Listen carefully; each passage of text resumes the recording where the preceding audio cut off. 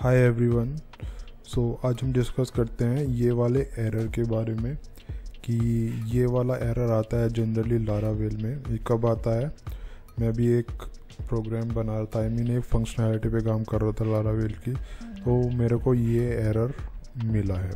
अब इस एरर का सॉल्यूशन क्या रहेगा? कैसे एरर ठीक होगी? ये मैं आपको बता देता हूँ। ये एरर एक्चुअली सिंटैक्स की वजह से आ रही है। सिंटैक्स अगर हम कुछ गड़बड़ कर देते हैं तो ये एरर आती है।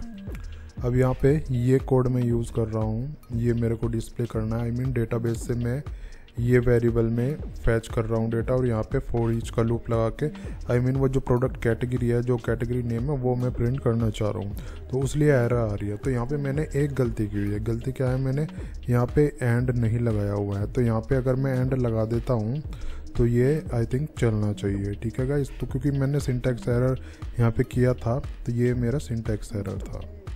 तो इसको अब हम देखते हैं, ये चल रहा है या कि नहीं चल रहा है। सो so गाइज़ आप जैसे देख रहे हो, ये मेरा प्रोग्राम ठीक ठाक चल रहा है। वो एरर अब चली गई क्योंकि मैंने सिंटैक्स एरर इसमें डाली थी। ठीक है I hope you like the video so अगर कोई क्वेरी हो तो नीचे कमेंट करके पूछ सकते हो आप। तो मिलते हैं नेक्स्ट वीडियो में।